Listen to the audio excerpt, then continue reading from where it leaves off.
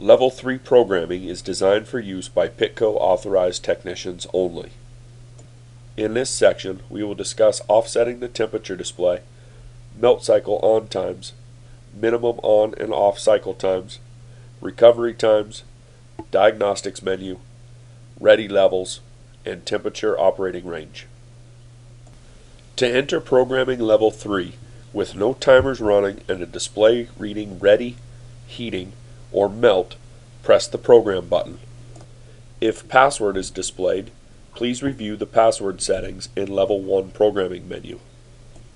Once a correct password has been entered or the display shows Program, press 6685 to enter into the service menu. Pressing key number 1 will allow you to change the offset temperatures.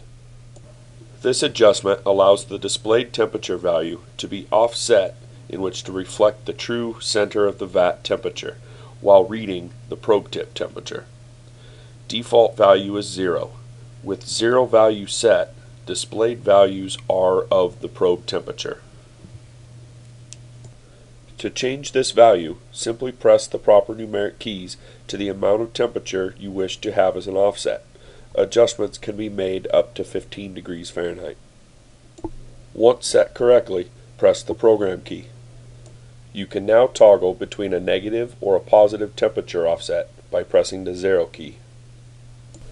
Once set correctly, press the program key to save and return to the service menu. With the display reading service, press key number 2. The display will then read melt on followed by a numeric time. The set time is the amount of time the burners are fired for each pulse of heat during the melt cycle. Each pulse is 30 seconds in total. In this example, the burners would fire for 8 seconds and would remain off for 22 seconds until the exit melt cycle requirements are satisfied. You can only change the melt cycle on time for the liquid melt cycle. Solid melt cycle times cannot be changed. Once set correctly, press the program key to save and return to the service menu. Pressing key number 3 in the service menu will allow you to make adjustments to the minimum on and off cycle times. The display will now read minimum on followed by a numeric time. This time is the minimum time that the burner can be fired. Pressing the clock key will toggle the display to the minimum off time in which can be changed in the same manner. Once set correctly, press the program key to save. With the display again reading service, press the number 4 key. This is another way to view a recovery test of the appliance. To learn more about the recovery test, review programming level 2. Once set correctly, press the program key to save. With the display reading service, press key number 5 to enter the diagnostics menu. This menu is explained in greater detail in the diagnostics chapter. Press the Program key to return to the service menu. With the display again reading service, press key number 6. The display will now read ready and a numeric temperature value. Factory default for this value is 20 degrees. In normal operation, this example would mean the display would change from heating to ready once the oil temperature got within 20 degrees below the set temperature. Once set correctly, press the Program key to save and return to the service menu. With the display at service, press key number 7. This display shows the temperature range in which the controller can be set for. There are no adjustments available on this setting and is only for informational purposes. To return to the service menu, press the Program button. With the display reading service, press key number 8. The display will change to more service and the illuminated lights above each key will change. We will review this menu in more detail when we review the more service menu in this training. With the display reading service, press key number 9. This display will allow you to change the number of lift basket outputs. L basket 2 means the controller will activate both outputs to the left and the right lift baskets. L basket 0 means there will be no outputs to either the left or the right lift basket, and L basket 1 will default the only output to the left side basket only. Once set correctly, press the program key to save and return to the service menu. This concludes the review of Level 3 programming for the service technician. To return to normal operation, repeatedly press the program button until the display reads ready, heating, or melt. The diagnostic menu is used to determine the functionality of controller outputs and inputs. By exercising each output and examining inputs, a determination can be made if an appliance problem is controller related. In the diagnostic menu, product keys are assigned specific inputs or outputs. All outputs in the on state should produce 22 volts DC at the appropriate pins on the controller connector. Controller inputs can be verified by the on or off state of the indicator above the product key. This section will detail the process of checking each input and output. Refer to Level 3 training module on how to enter the service menu. Once display reads service, press key number 5 to enter the diagnostics menu. With the display reading diagnostic, press the product key number 1 to toggle the left basket lift output on. Display will show L basket and the indicator light above key number 1 should illuminate. Pressing key 1 again should cause the light to go out. Repeat with key number 2 for the right basket.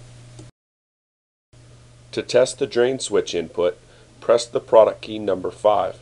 The display will show state of the drain valve input by displaying either drain on or drain off. Product key number 5 indicator also will show in an on or off state to show you the value of the input. Pressing product key number 4 will toggle the side on output on. The display will show side on and or transfer depending on if you have the i12 controller or the i12 plus controller. Pressing and holding key number 3 will force the heat demand on output. Display should read heat demand and the heat light should illuminate. Releasing key number 3 will turn this output to the off state.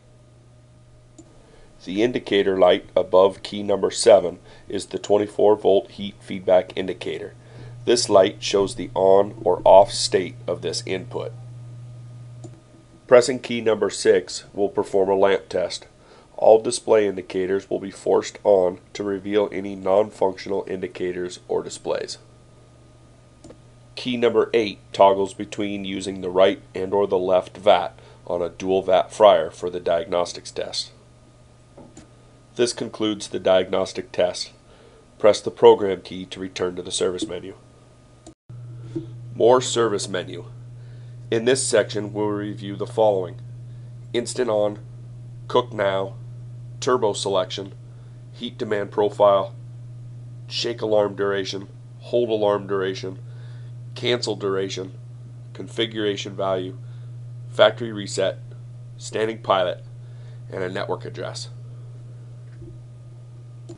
For the purposes of this video, we will be reviewing the More Service menu from the standard i12 controller.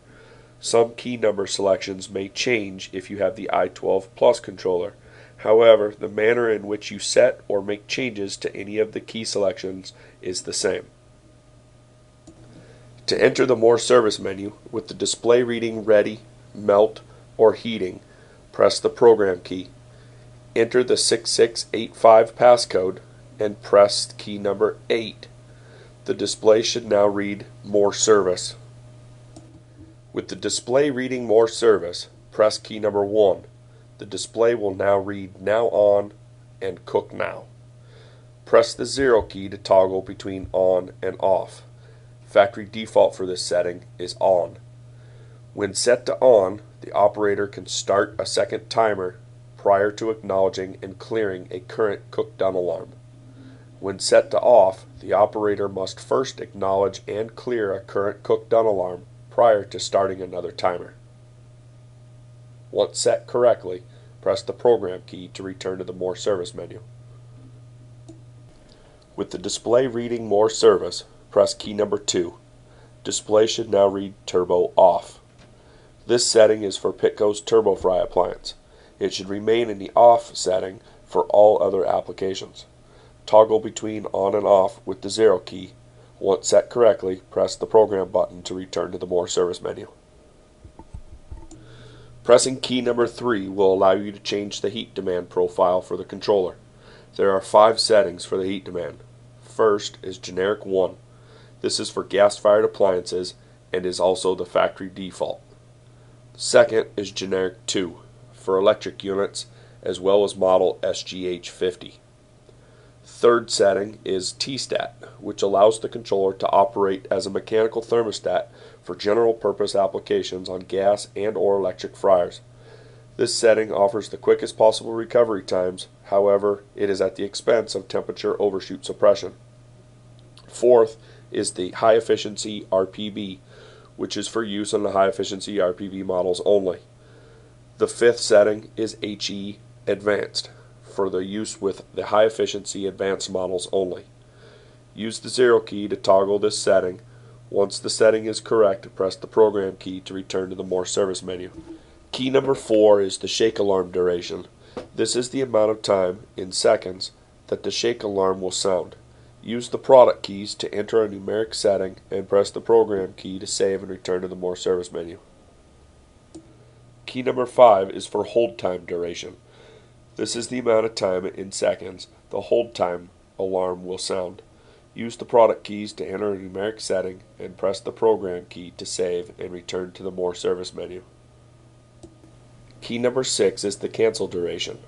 This is the amount of time, in seconds, the operator must hold the product timer key in order to cancel a cook timer. Use the product keys to enter a numeric setting and press the program key to save and return to the more service menu. Key number 7 is a hexadecimal checksum of the program contained in the controller. Please do not make any changes to this program setting. Press the program key to return to the More Service menu. Key number 8 is a factory reset. Factory reset provides a quick way to erase all setup changes and restore controls to factory settings. Any settings made prior to factory reset will be lost. This includes customer specific downloads performed at Pitco. After a few moments of pressing key number 8, the display will show P. Once the display shows P, press Program and you will be returned to the More Service menu. Key number 9 is for the standing pilot. For some applications, it is desirable to maintain the pilot flame in the appliance when it is off. Heat from the pilot keeps solid shortening in the liquid state for quicker warm-ups in the mornings. Default setting for standing pilot is off. If you wish to utilize the standing pilot, your heat demand profile must be set to either generic 1 or T-stat. Press the 0 key to toggle the standing pilot on or off. Standing pilot 0 is off, standing pilot 1 is on. Once set correctly, press the program key to return to the More Service menu. This concludes the programming for the More Service menu. To return to normal operation, press the program button repeatedly until the display reads either ready, heating, or melt.